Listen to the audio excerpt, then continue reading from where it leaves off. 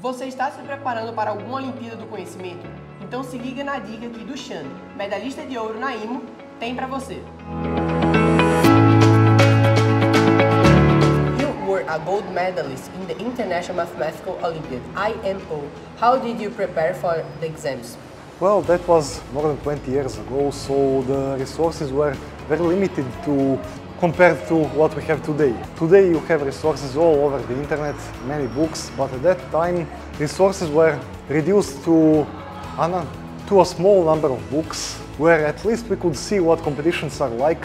But what was very important, I have a number of friends who were preparing for the competitions just like I did. There were those preparation classes, training classes, where we could see many interesting new problems to each other.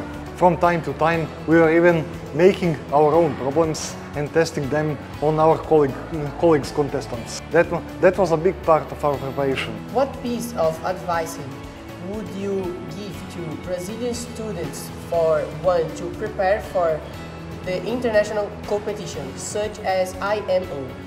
I, would, I, will, I could give you the most stereotypical answer such as uh, work a lot, work, work and work, but the truth is actually more complicated and I hope more fun than that.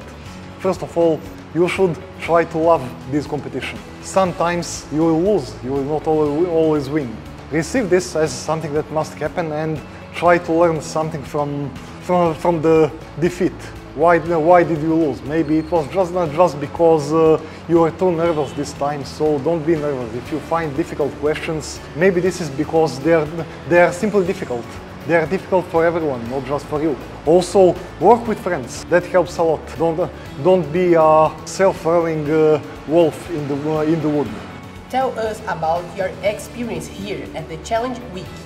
Well, for, for me, most of, most of the, the, the experience, the precious experience here was to work with, uh, with students that are not my own Serbian students, that, that they, they may have different ways of thinking, but, but, uh, but we still understand the same type of mathematics. So here I found many, many students that were, even though they haven't seen such, uh, such problems we often see in Serbia, on the other hand, they, they have seen some problems which we haven't seen over there. So this one, this was the experience I, I had. Still many students that were eager to listen and very, and very interested in, in the sort of mathematics they hear. Not just from me, but also from the other teachers.